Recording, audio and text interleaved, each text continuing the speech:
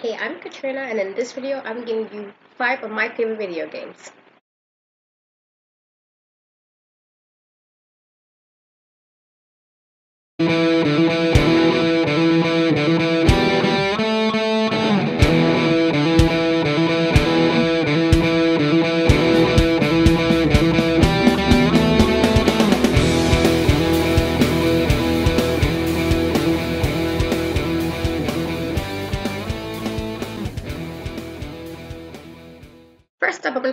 Red Dead Redemption. It came out in 2010. I played this game years ago, and it pretty much is an open Western type of action, open world game that takes place in the fictional US state of New Austin and Mexico.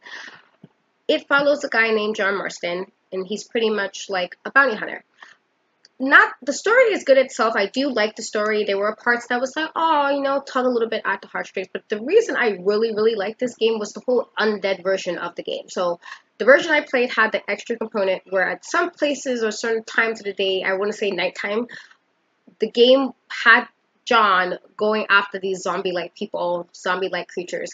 I love this type of thing. I feel like if you can just shoot them all, just shoot them all, then do so. And that's literally why I like the game. There's really no other reason for me to really like this game, literally just because of the fact that I liked the part when they were undead and he was shooting these zombies and he was just like burning them up with fire and everything, and I love that. So I know that's weird, and people's like people are gonna probably ask me like, really, Katrina's that why? That's exactly why.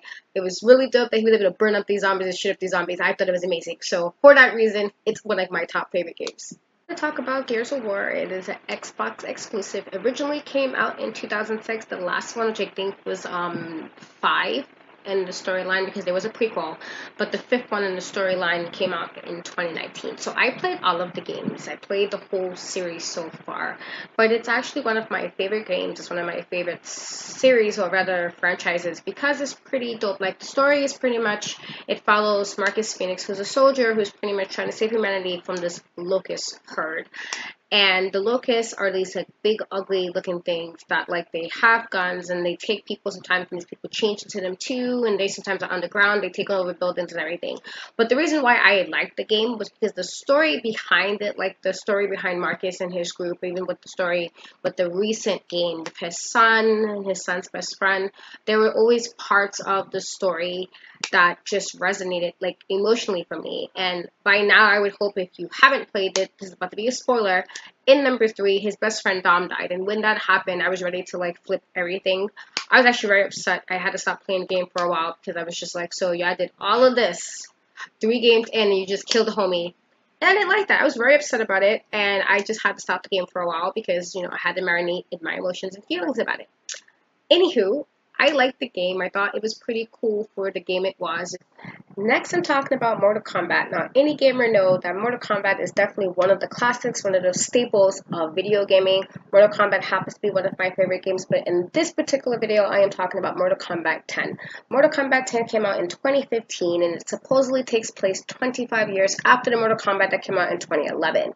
We get introduced to some new characters such as Cassie Cage, which is Johnny Cage and Sonya Blade's daughter, as well as Jacqui Bridge, Briggs, excuse me, who is Jax daughter. The story pretty much follows was 20 years after Shinnok's defeat. There was also Quan Chi's defeat, and it wound up having Scorpion and Sub Zero and Jax back in human form. I don't want to spoil the whole video game or anything, even though I'm sure people should have known by now since we're on Mortal Kombat 11.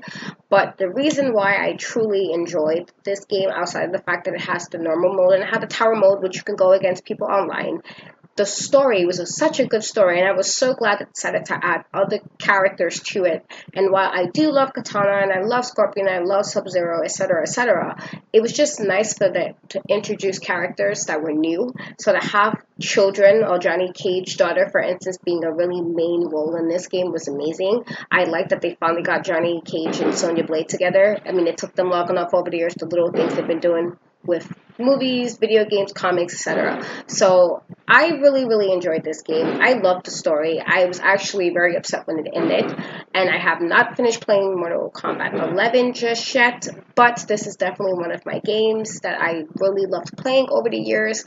Next, I'm talking about Resident Evil 6. Now, most people, even if you're not a gamer, know about Resident Evil because they had those horrible movies horrible movies, but Resident Evil as a franchise whole has had games, plenty of games over the years, at the point that even did Resident Evil 1 and 2 over for the newest systems. So I'm talking about Resident Evil 6 because for me, that was my favorite game.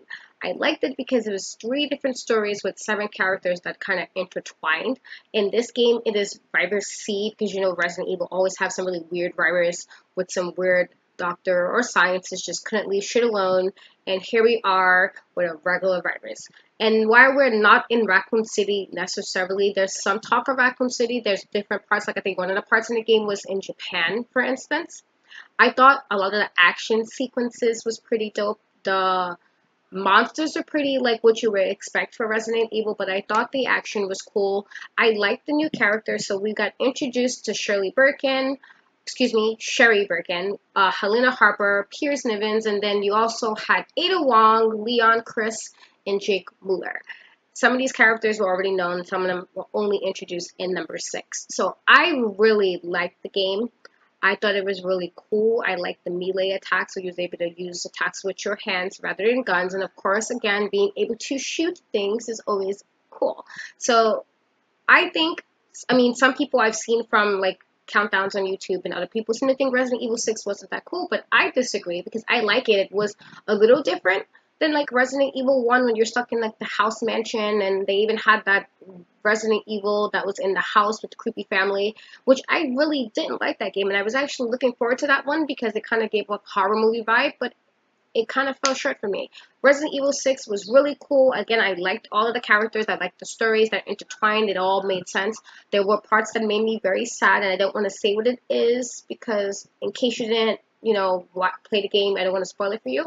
But I really liked it. So I think you definitely check it out if you're not a Resident Evil fan person or if you want to play it again because I'm kind of sometimes tempted to play it again just because, then do so. I think wanted to give an honorable mention to The Last of Us, which came out in 2013. I just started playing it uh, I want to say a month and a half ago because you know again I am not a gamer. I just got PlayStation 4 recently. So I was like I needed I like games with like good stories and stories that make me feel emotional connections to the character. So I did start playing the game and I want to give it an honorable mention because so far as where I am in the game it is an amazing game. It's a great game. I was already cried a couple of times which I hated that.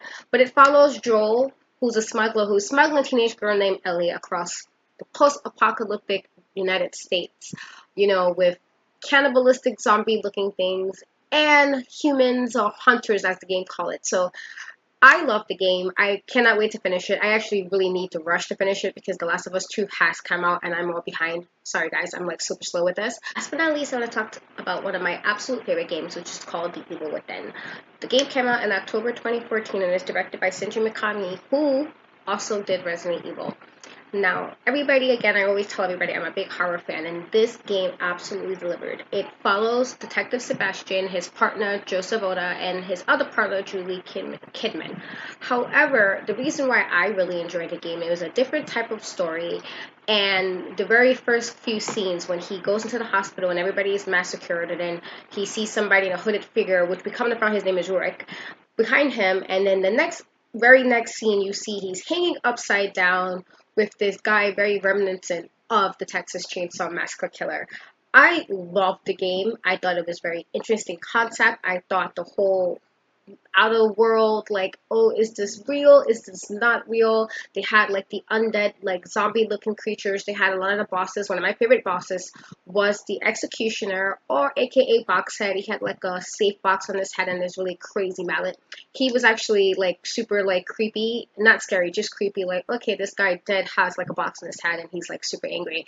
And i really appreciated the effort that put into the game. I like the fact that she was able to like sneak kill and you know learn how to do traps and stuff to kill the monsters.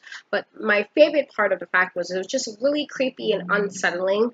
It was a really, you know, the backstory was a bit emotional. Like you kind of understood why Ruvik was mad. At least I did. I thought Leslie was a very interesting character. I liked the backstory to Detective Sebastian. He had a lot of crap going on. You know, lost his wife, lost his child. So with all of that and the fact that it's put in this really crazy horror world, it was just like one of my favorite games. And like I will tell anybody if you haven't gamed before if you're trying to get into gaming and you want something that's kind of scary and I say kind of scary because again I don't scare easily definitely check out Evil Within.